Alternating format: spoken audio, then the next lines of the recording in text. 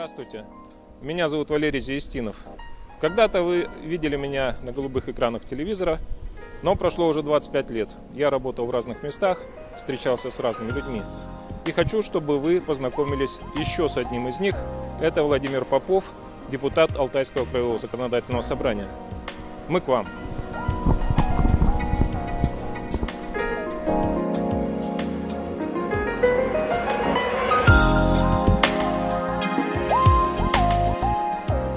Мы к вам.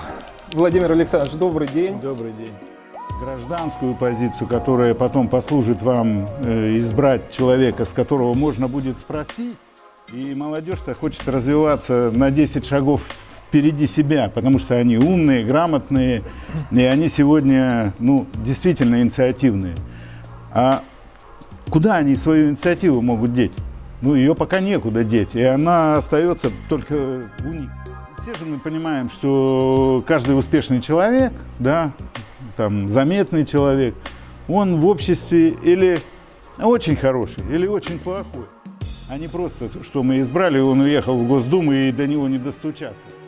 А потом, когда вдруг Михаил объявил, что он пойдет в губернаторы, и вот часть этих людей, они начали ему не то, что ну, как бы его надо брать и поддерживать, они ему начали говорить там, не надо. А вдруг ты вот там не сможешь, а вдруг ты не сможешь там. А, эта светлая душа, которая по фамилии Евдокимов, она как раз говорила о том, что надо идти к землякам, надо помогать, надо что-то делать.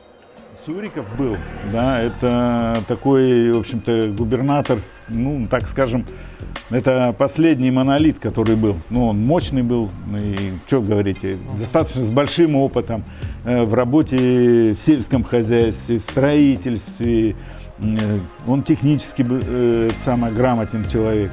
В то же время тут же Назарчук, да, тут тоже сельскохозяйственник и прочее. И вот приходит э, Михаил Евдокимов, которому, который вот своей доброй душой Э, своей землячеством, стоим вот такой Хочется объять необъятное. Да, хочется сути. объять необъятное и верить в то, что вокруг его все порядочные, все вот готовы ему подставить плечо.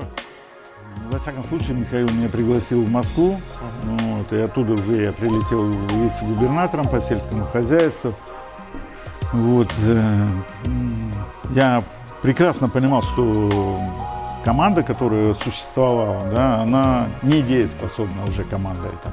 Я поставил, ну, с, с Михаилом договорились о ряде кадровых перестановок, потому что сразу несколько человек ушло, когда я пришел. Но, тем не менее, это не помогло, потому что сильно было уже поздновато.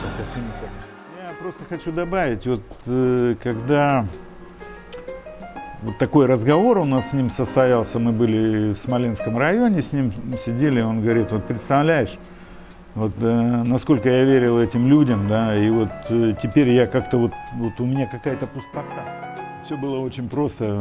Приезжает Александр Богданович, собирает нас всех у себя в кабинете и говорит, все должны написать заявление и уволиться. Нельзя жить в обществе, да, когда в этом обществе есть люди, которые плохо живут. Несчаст... Вот этого, несчастливо, я бы сказал. Ну да, вот этого допускать нельзя. Угу. Если мы будем направлять именно вот на это, да, тогда, наверное, общество будет по-другому развиваться.